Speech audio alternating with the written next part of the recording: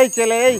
বর্তমান সময়ে বাংলা নাটকের জনপ্রিয় অভিনেতা মোশারফ করিম। মোশারফ করিম অসংখ্য নাটকে অভিনয়ের মাধ্যমে দর্শকের মনে জায়গা দখল করে নিয়েছেন। তার নাটকগুলো দর্শকদের ব্যাপক বিনোদন দিয়ে থাকে। হ্যাঁ বন্ধুরা, মোশাররফ করিমের অভিনয় ও ব্যক্তিগত জীবনের অনেক অজানা তথ্য নিয়েই থাকছে আমাদের আজকের আয়োজন।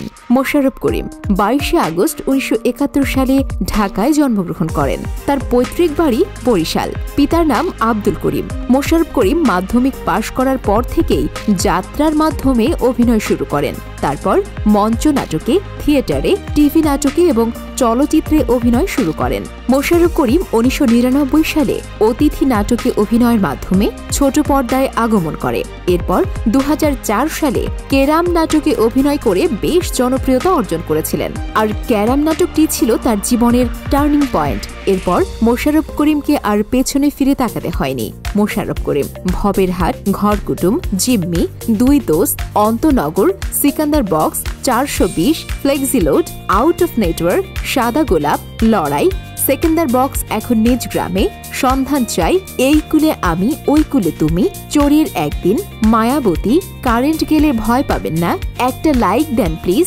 জমজ প্রেমের নাম বেদনা। City life behind the scene সহ। ছয় শতাধিক নাটক ও টেলিফিল্মে অভিনয় করেছেন।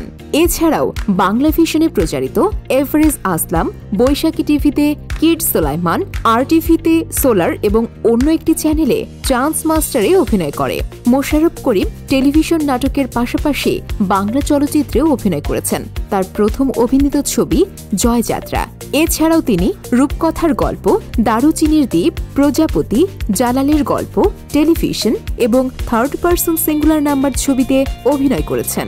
একের পর এক অসংখ্য নাটক ও ছবিতে অভিনয় করে ভক্তদের মন জয় করে নিয়েছে এবং বেশ কয়েক বছর ধরেই বাংলা নাটকে অভিনয়ের জায়গাটাও বেশ পাকাপোক্ত করে রেখেছেন মোশারফ করিম। তিনি দু হাজার আট সালে দেওয়াল আলমারি নাটকে অভিনয় করার জন্য সেরা অভিনেতার পুরুষ বিভাগে মেরিল প্রথম আলো পুরস্কার পান। এছাড়াও দু হাজার নয় সালে হাউসফুল, এগারো সালে চাঁদের কোনো নিজস্ব আলো নেই দু হাজার বারো সালে জর্দা জামাল এবং দু হাজার তেরো সালে সেই রকম চাখর নাটকে অভিনয়ের জন্য মেরিল প্রথম আলো পুরস্কার পান। ব্যক্তিগত জীবনে মোশাররফ করিম দু হাজার চার সালে রবিনা রেজা জুইকে বিয়ে করেন। রোবেনা জুইও একজন নাট্যশিল্পী। বর্তমানে মোশারফ জুই দম্পতির রোবেন রাইহান করিম নামে একটি ছেলে সন্তান রয়েছে।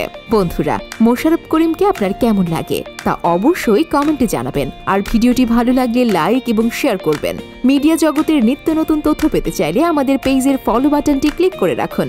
কথা হবে অন্য কোনো ভিডিওতে অন্য কারও বিষয় নিয়ে। সে পর্যন্ত সবাই ভালো থাকুন, সুস্থ থাকুন। ধন্যবাদ।